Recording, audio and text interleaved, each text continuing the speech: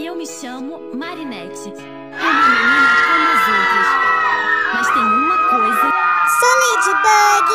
Sou Ladybug! Relaxa, essa vergonha você não vai passar. Que voz é essa? Miraculous, o filme não vai passar no cinema, vai direto pros streamings e chega no dia 28 de julho na Netflix. Tem que ter algo bom, né?